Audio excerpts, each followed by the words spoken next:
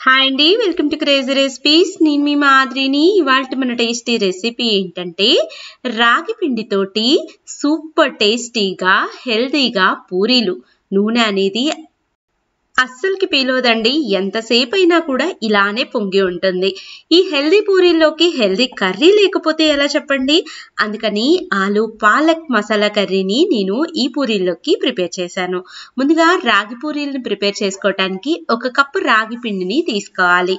ఇక్కడ నేను బయటకున్న రాగి పిండి ప్యాకెట్ని తీసుకున్నాను. అలాగే అదే కప్పుతోటి ఒక కప్పు గోధుమ పిండిని కూడా తీసుకుందాము. దీంట్లోకి ఒక స్పూన్ దాకా ఉప్పుని వేసుకుందాము. అలాగే ఒక రెండు నుంచి మూడు స్పూన్ల దాకా నూనెని వేసుకొని ఇదంతా కూడా పిండికి బాగా పట్టేలాగా ఇలాగ ప్రెస్ చేస్తూ కలుపుకోవాలి. అచ్చం రాగి పిండితో అయితే మనకి పూరీలు చేసుకునేటప్పుడు నూనె అనేది బాగా పీలుస్తుంది. అలాగే మనకి పొంగవు కూడా అండి. ఇప్పుడు దీంట్లోకి మనం కొంచెం కొంచెంగా వాటర్ని యాడ్ చేసుకుంటూ పిండి మొత్తాన్ని కూడా ఇలాగా బాగా మిక్స్ అయ్యేలాగా మిక్స్ చేసుకుందాము.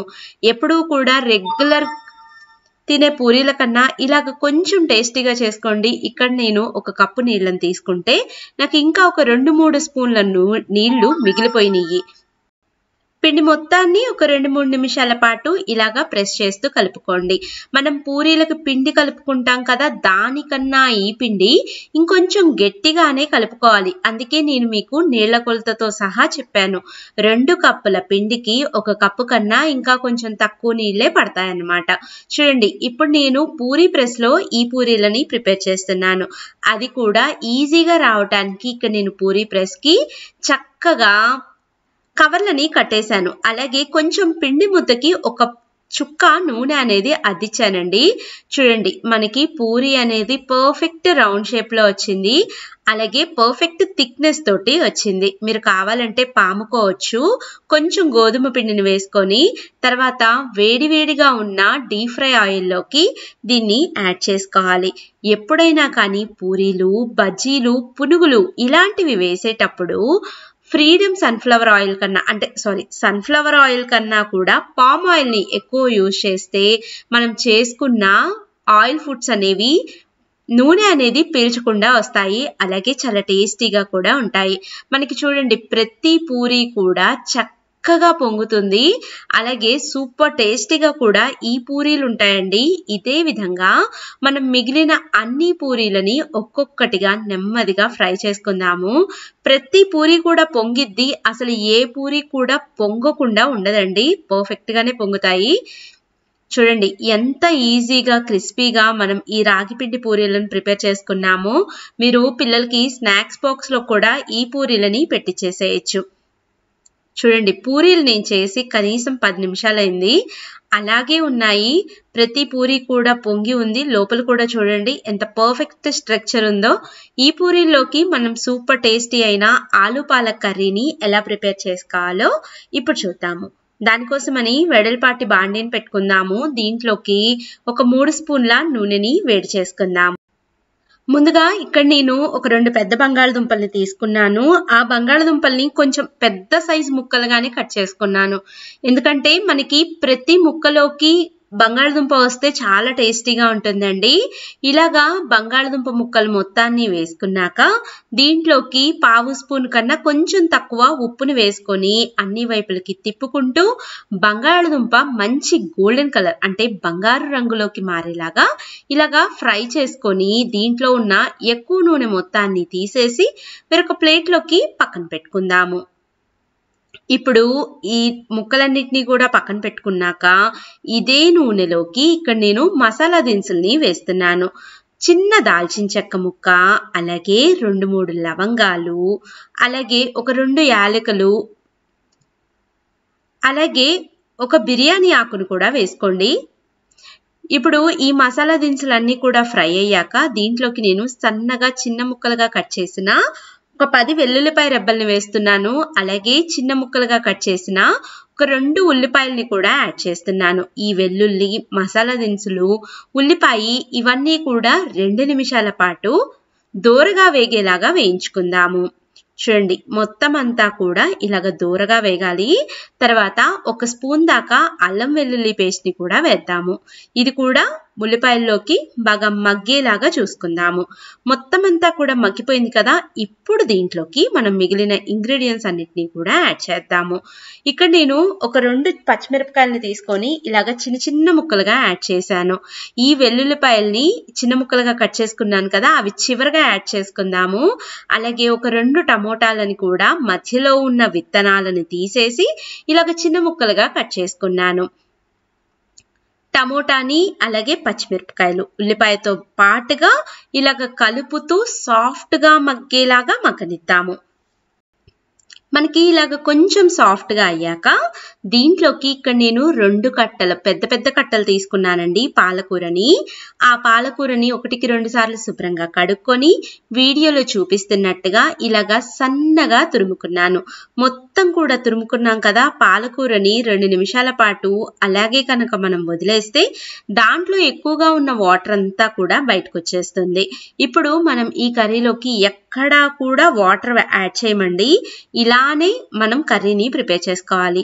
కర్రీ పూరీలోకి చపాతీలోకి అయితే ఎక్సలెంట్గా ఉంటుందండి.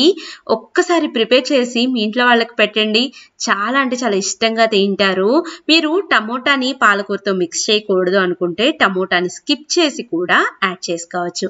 దీంట్లోకి నేను ముప్పావు స్పూన్ దాకా ఉప్పుని అలాగే ఒక ముప్పావు స్పూన్ దాకా కారాన్ని కూడా యాడ్ చేస్తున్నాను. ఈ ఉప్పు కారాలతో పాటుగా ఒక పావు స్పూను ధనియాల పొడిని కూడా వేసుకుందాము. అలాగే ఒక పావు స్పూను గరం మసాలా పౌడర్ని కూడా యాడ్ చేసుకొని ఈ పొడులన్నీ కూడా కూరలోకి బాగా కలిసేలాగా కలుపుకుందాము. చాలా అంటే చాలా సింపుల్గా చేసుకోవచ్చండి. అలాగే ముందుగా మనం వేయించి పెట్టుకున్న బంగాళదుంపని కూడా ఈ స్పైసెస్తో పాటుగానే యాడ్ చేయాలి. ఎందుకంటే దీనికి కూడా ఉప్పు కారాలు పడతాయి కదా అందుకని మనం ఇలాగా ముందుగానే బంగాళదుంపని వేయించుకోవటం వల్ల ముక్క అనేది చిదిరిపోకుండా ఉంటుంది. అలాగే క్రిస్పీగా కూడా టేస్టీగా ఉంటుంది ఉంటుంది. ఆయిల్లోకి ఫ్రై చేశాం కదా అందుకని. ఇలాగ కర్రీ అంతా కూడా బాగా కలిసాక దీని మీద మూత పెట్టేసి నూనె అంతా కూడా పైకి తేలేదాకా ఒక మూడు నుంచి నాలుగు నిమిషాల పాటు మగ్గనిచ్చేద్దాము. కర్రీ అంతా కూడా మగ్గిపోయాక మంచి స్మెల్ తోటి సూపర్ టేస్టీగా ఉంటుందండి. ముక్క కూడా బాగుంటుంది. ఈ పూరీలతో పాటుగా ఈ కర్రీని ట్రై చేయండి. అందరికీ చాలా నచ్చుతుంది. నా వీడియో మీకు నచ్చిందా అండి? అయితే చిన్న లైక్ చేసి మీ ఫ్రెండ్స్కి ఫార్వర్డ్ చేయటం అస్సలకి మర్చిపోవద్దు. అన్నంటూ ఎలా కుదిరిందో కూడా ఒక చిన్న కామెంట్ చేయండి. థ్యాంక్ యూ హాయ్ అండి వెల్కమ్ టు క్రేజీ రెసిపీస్ నేను మీ మాదిరిని ఇవాళ మన టేస్టీ రెసిపీ ఏంటంటే బాగా పొంగిన పూరీలు. అది కూడా నూనెతోటి అలాగే నూనె లేకుండా రెండు రకాలుగా ఎలా తయారు చేసుకోవాలో ఈ వీడియోలో చూపిస్తున్నానండి. చాలా సింపుల్ చిట్కాలతోటి చిన్న చిన్న ట్రిక్స్ తోటి మనం చేసుకోవచ్చు. డైట్ చేసే వాళ్ళు కూడా హ్యాపీగా తినచ్చు. ఆయిల్ ఫుడ్స్ అంటే చాలా మందికి నచ్చవు కదా. అలాంటి వాళ్ళు ఆయిల్ లేకుండా కూడా పూరీలని ఎలా చేసుకోవచ్చో ఈ వీడియోలో చెప్ప చెప్తున్నానండి. ముందుగా మనం ఏం చేయాలంటే పూరి తయారు చేసుకోవడానికి ఇక్కడ నేను గోధుమ పిండినే వాడుతున్నాను. మైదా పిండిని వాడట్లేదు. రెండు కప్పుల గోధుమ పిండిలోకి ఒక పావు స్పూన్ వరకు ఉప్పుని వేస్తున్నాను. ఎందుకంటే పూరీల పిండికి మనకి ఉప్పు కొంచెం తక్కువగానే పడుతుంది. మనం కర్రీ స్పైసీగా చేసుకుంటే చాలా టేస్టీగా ఉంటుంది. అలాగే ఒక అర స్పూన్ దాకా పంచదారని వేసుకుందాము. ఇది ఆప్షనల్ అండి. పంచదార వేయటం వలన మంచి రంగు వస్తుంది పూరికి అలాగే బాగా పొంగుతుంది కూడా. అలాగే ఒక స్పూన్ నూనెను వేసి ఇదంతా కూడా బాగా కలిసాక కొంచెం కొంచెంగా నీళ్ళని యాడ్ చేసుకుంటూ చపాతీ పిండిలాగా సాఫ్ట్గా కలుపుకోకూడదు. కొంచెం గట్టిగానే ఈ పిండిని కలుపుకోవాలి.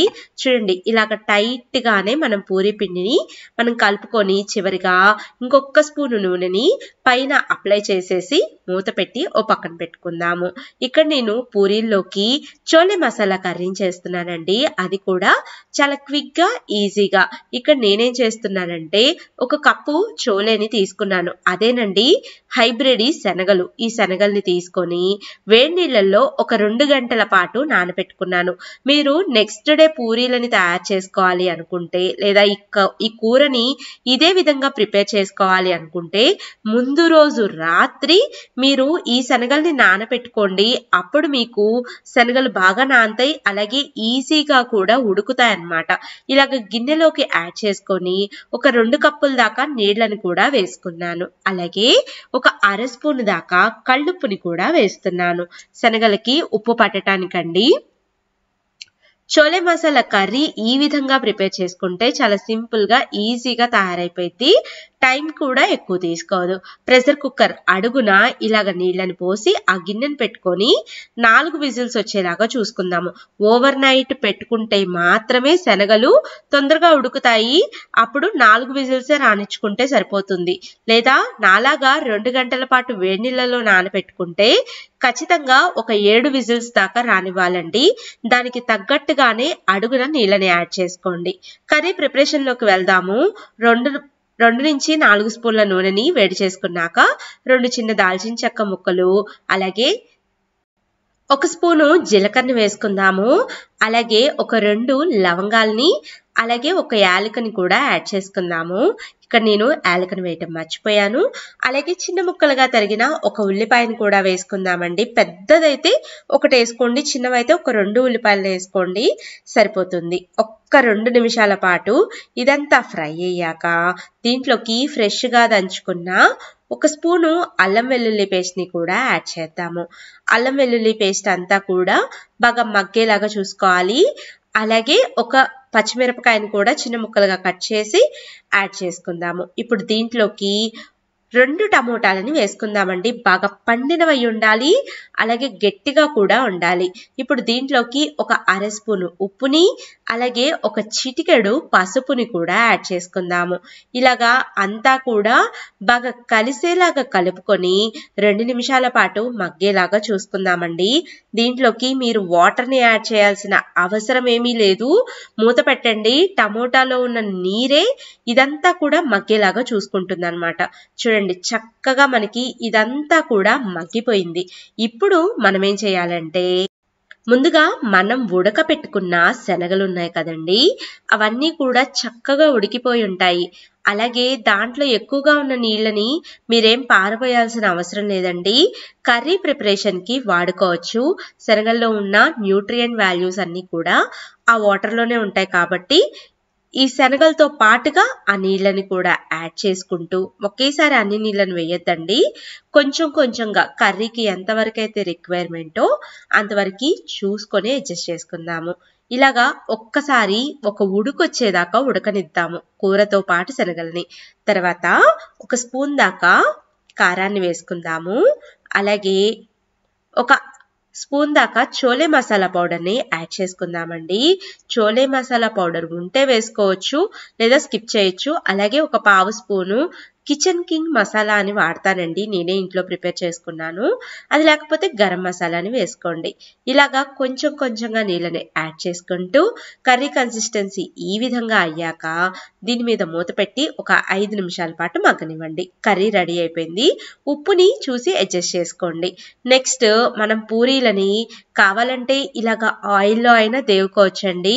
లేదా మనం నార్మల్గా అయినా కూడా పూరీలని ప్రిపేర్ చేసుకోవచ్చు. కానీ నేను చెప్తున్నానండి నేను చెప్పిన ప్రాసెస్ చెప్పింది చెప్పినట్టు చేస్తే మీకు ప్రతి పూరి కూడా ఇదే విధంగా చక్కగా పొంగుతుంది. అది ఆయిల్ ఉన్నా లేకపోయినా చూడండి మనకి ఎంత మంచి కలర్ వచ్చిందో. పూరీల్ని చేయటానికి కూడా మీకు ఒక ఈజీ చిట్కా చెప్తానండి. చూడండి ఒకేసారి పిండి ముద్దను తీసుకోండి. ఒకవైపు మందంగా అలాగే ఇంకొక వైపు పల్చగా లేకుండా ఇలాగ ఈవెన్గా చేసుకోండి. ఒక గ్లాస్ సహాయంతో. అన్ని పూరీలని ఒకేసారి ఇలాగా ప్రెస్ చేసుకోండి. ఈ విధంగా ప్రెస్ చేసుకోవటం వల్ల మనకి అన్ని ఒకే సైజులో వస్తాయి. అలాగే థిక్నెస్ కూడా కరెక్ట్గా ఉంటుంది. ఈ పిండిని మీరు మళ్ళీ పూరీలు చేసుకోవటానికి ఉపయోగపెట్టుకోవచ్చు. నూనెలో వేయించుకుంటానికి ఇప్పుడు చెప్తున్నానండి. నూనె బాగా వేడిగా ఉండాలి. అప్పుడే పూరీలు ప్రతిదీ కూడా పొంగుతుంది. అలాగని బాగా పొగలొచ్చేలాగా కాదండి. వేడంటే మనకు అర్థమవుతుంది కదా. ఆ వేడినే మెయింటైన్ చేయాలి. అన్ని పూరీలని ఒకేసారి వేయకూడదు. ఒక్కొక్క పూరీని వేసుకుంటే మనకి ప్రతి పూరీ కూడా చక్క చక్కగా ఇలా పొంగుతుంది. చూడండి పర్ఫెక్ట్గా పొంగిపోయింది కదా? అలాగే నూనె లేకుండా చెప్తున్నాను. ఒక్క చిటికెడు నూనెను వేసుకొని ఇలాగా హోల్స్ అంటే మనకి ఆవిరికి పెట్టుకుంటానికి ఉంటాయి కదా? అలాగ హోల్స్ ఉన్న ప్లేట్కి అప్లై చేసుకొని ఈ పూరీలని అంటే ఇప్పుడు ముందుగా మనం ప్రిపేర్ చేసుకున్న వీటిని ఆ ప్లేట్లోకి అడ్జస్ట్ చేసుకోండి. ఇలాగా ఒక బాండీలోకి అడుగున నీళ్ళని యాడ్ చేసుకొని ఈ ప్లేట్ని దాని మీద పెట్టుకొని దీని మీద మూత పెట్టేసి మూడు నిమిషాల నుంచి నాలుగు నిమిషాల పాటు ఆవిరి మీద దీన్ని ఉడకనివ్వండి. చూడండి ఇలాగా మనకి పచ్చంతా కూడా పోతుంది. ఇలాగ పోయిన తర్వాత మనం స్టవ్ ఆఫ్ చేసేసేయాలి. స్టవ్ ఆఫ్ చేసేసి వెంటనే పక్కన పెట్టుకుందాం. అంటే రివర్స్ సైడ్ కూడా టర్న్ చేసుకొని రెండు వైపులా కూడా ఒక్కొక్క నిమిషం పాటు చేసుకుంటే సరిపోతుందండి. అప్పుడు పచ్చిగా లేకుండా ఇలాగ స్టిఫ్గా తయారవుతాయి అన్నమాట పూరీలు. ఇప్పుడు మనం ఏం చేయాలంటే ఈ పూరీలని వేరొక ప్లేట్లోకి తీసి పక్కన పెట్టుకుందాం. ఈ పూరీలని ఇప్పుడు నేను ఎయిర్ ఫ్రైయర్లో అలాగే స్టవ్ మీద రెండిటి మీద కూడా నూనె అనేది వాడకుండా ఎలా ఫ్రై చేసుకోవాలో చూపిస్తున్నానండి. దానికోసమని ఆడి ఎకోబేక్ ఫుడ్ పేపర్స్ని యూజ్ చేస్తున్నాను. చూడండి ఇవి ఎయిర్ ఫ్రయర్కి యూజ్ చేసుకోవటానికి. అంటే ఇలాంటి పూరీలు లేదా పాప్కార్న్ లేదా ఇలాంటివన్నీ కూడా నూనె వాడకుండా ఏమైతే చేస్తామో ఆవిరిపోవటానికి మనకి ఇలాంటి ఫుడ్ పేపర్స్ అనేవి అవైలబిలిటీలో ఉన్నాయండి. లింక్ డిస్క్రిప్షన్లో ఇస్తాను. చెక్ చేయండి. ఎయిర్ ఫ్రైయర్లో పెట్టేసుకొని మనం ఎన్నైతే పడతాయో అన్నిటినీ కూడా టూ హండ్రెడ్ డిగ్రీస్ దగ్గర ఒక పది నిమిషాల పాటు హీట్ చేస్తున్నాను. అలాగే ఎయిర్ ఫ్రైయర్స్ అందరి ఇళ్ళలో ఉండవు కదండి. అలాంటి వాళ్ళ కోసం మనం కేక్ తయారు చేసుకుంటాం కదా. కొంచెం మందపాటి గిన్నె అలాంటిది తీసుకోండి. దాని అడుగున కూడా ఇలాగ పెట్టుకోండి. ఎందుకంటే కింద అతుక్కోకుండా ఈజీగా వచ్చేస్తాయని ఇలాగా మనకి ఎన్నైతే పడతాయో అన్నిటినీ పెట్టుకొని ఇందాక వాటర్ యాడ్ చేసాం కదా ఇప్పుడు వాటర్ని తీసేసి ఇదే బాండీలో పెట్టేసుకోండి దీని మీద మూత పెట్టేసేయండి. అలాగే ముందుగా మనం ఎయిర్ ఫ్రైయర్లో పెట్టాం కదా పూరీలని చూడండి ఆల్మోస్ట్ పొంగిపోయాయి. ఒక వైపు అంతా దీన్ని రివర్స్ సైడ్కి కూడా టర్న్ చేసుకొని రెండో వైపుకి కూడా పొంగేలాగా చూసుకుందాము. నాది వన్ సైడ్ మాత్రమే ఎయిర్ వస్తుందండి దానివల్ల నేను రెండు వైపులా కూడా టర్న్ చేసుకోవాలి. చూడండి ఎంత బాగా పూరీ పొంగాయో. డైట్ చేసే వాళ్ళకి ఈ టిప్పు చాలా బాగా యూజ్ అవుతుందండి. చూడండి మనకి బాగానే ఉంటాయి టేస్ట్ కూడా. డైట్లో ఉన్నాము అన్న ఫీలింగ్ కూడా ఉండదు. చక్కగా మనకి ఇష్టమైన కర్రీ తోటి ఎక్కువ పెట్టుకొని ఎంజాయ్ చేయొచ్చు. అలాగే మనం నార్మల్గా పెట్టుకున్నాం కదా అవి కూడా బాగానే పొంగాయి. కాకపోతే ఎయిర్ ఫ్రైయర్లో పొంగినంత బాగా పొంగలేదు. టేస్ట్ మాత్రం చాలా బాగున్నాయి. డైట్ కాన్షియస్ ఉన్న వాళ్ళకి మీకు ఏ ప్రాసెస్ నచ్చితే ఆ ప్రాసెస్లో పూరి అలాగే పూరీలోకి చోలే కర్రీ తయారు చేసుకోండి. నా వీడియో నచ్చినట్లయితే ఒక చిన్న లైక్ చేయండి మీ ఫ్రెండ్స్కి ఫార్వర్డ్ చేసి ఇలాంటి వీడియోస్ కోసం క్రేజీ రెసిపీస్ని సబ్స్క్రైబ్ చేయండి. Bye bye